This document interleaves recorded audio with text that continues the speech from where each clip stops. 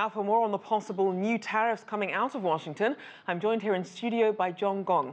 He's a professor of economics at Beijing's University of International Business and Economics. Thank you for joining us. Sure, welcome. So let's unpack this quite a bit. We know that um, a lot of companies, hundreds of companies, in fact, have written responses to these proposed tariffs. Why such apprehension against this particular round of tariffs? Altogether, 1,600 companies wrote to the uh, uh, and they're scheduled to make testimonies in the next seven days.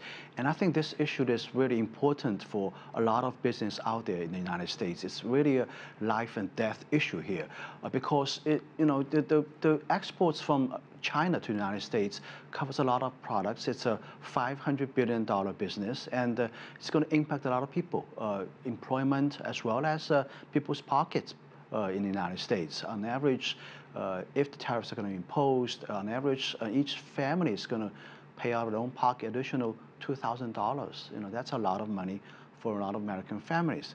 At a time, for a lot of people, it's even difficult to cough up something like even $400 on occasional expenses. So that's a huge amount of money, huge impact on a lot of people. So, so given the amount of money, not just in trade, but obviously the fallout for, for American citizens, Chinese citizens as well, do you expect these written responses and these, this testimony from the USTR hearings, do you expect it to, to sway the Trump administration?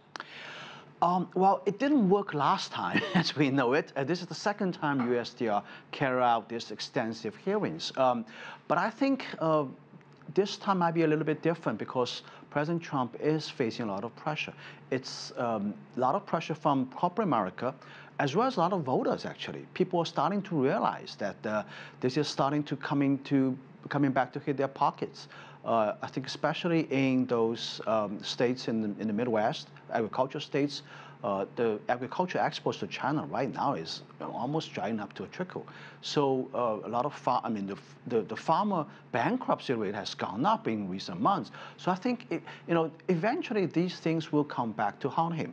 Uh, so eventually I think uh, President Trump is facing a lot of political pressure, let alone he is we're getting into the campaign season right now. So I think maybe this is a little bit different. Uh, hopefully, uh, there can be some kind of agreement between President Xi and President Trump.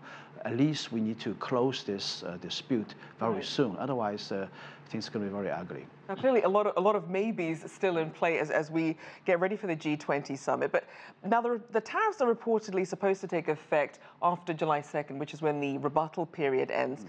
But with such a quick turnaround, if these in fact do come into play, what does this mean not just for the US and China's economies, but a lot of these global supply chains? Yeah, well, um, I think um, one of the objectives of the Trump administration is to trying to drive uh, corporate America's operation back to home, or if not, at least out of China. I think this is a very clear objective.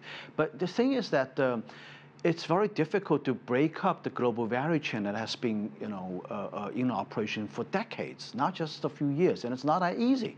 China still represents a very good place for manufacturing. Bulk of the world's manufacturing capacity is still located in China and infrastructure is actually very good in terms of you know roads, port access, very reliable electricity supply. All these things uh, are not that easy to find in other countries. There are some operations already moving out of China. Um, you know, we know about this um, what's called a, a, new economic geography theory that predicts uh, production, uh, uh, manufacturing is clustered and tends to move from country to country historically. So some of the manufacturing activities are already moving out of China. That's uh, understandable, right. but I think uh, this kind of a scale in such a quick um, uh, amount of time, that's just unprecedented. It's not going to happen overnight. And, you know, the corporate, corporate America is going to suffer. And uh, we've already seen Walmart saying, look, if these tariffs come to be, we're passing these costs on to consumers. And but you also have some of these smaller companies saying, well, I don't know if I can expand, if I can hire more people. In right. terms of the broader economic consequences, what could we be looking at since we don't have a foreseeable end in sight? Um, well, first of all, you know, we're going to see prices going up at Walmart and Costco and those places. Second, I think a lot of investment decisions are being, being holding back now because, uh, because of uncertainty, uh, whether we're going to have a deal or not, whether China still remains to be a place for business.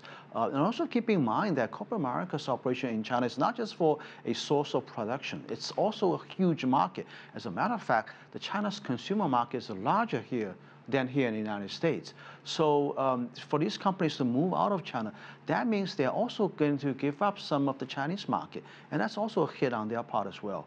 Um, there are cities, for example, in the United States that are, uh, you know, have a huge operation, uh, corporate headquarters here in the United States, but Right. they have a huge corporation back in um, in, in, in China. I just give you one example: a, a place uh, in uh, Cincinnati, in Ohio, which is a favorite state that. Uh, President Trump likes to quote about, you know, lost to China trade. Right. But in city of Cincinnati, uh, GE has a huge operation. Procter Gamble is headquartered in, in Cincinnati, but they have huge operations in China. Procter Gamble is the largest uh, personal hygiene products uh, in China. So, you know, this is a very complex picture. It's uh, uh, not as simple as, as President Trump uh, portrays, and I think um, American people need to understand this. They, they, it's, it's a complicated picture that people don't understand. But Well, well, hopefully, this discussion will, will further that. Unfortunately, we'll have to leave it there. Sure. Thank you so much. Great having you on. That is economics professor John Gong from Beijing's University of International Business and Economics. Thanks so much.